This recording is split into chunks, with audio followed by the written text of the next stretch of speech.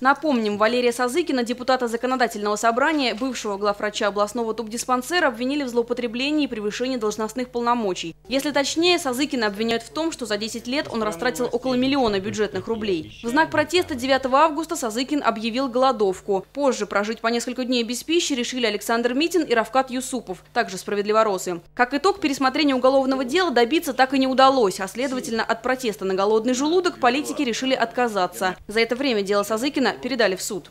Когда применяют нормы, скажем так, ведется следствие, нужно доказать событие, то есть факт, место и время совершения преступления. Вот как раз требования Уголовно-процессуального кодекса в этой части не соблюдены.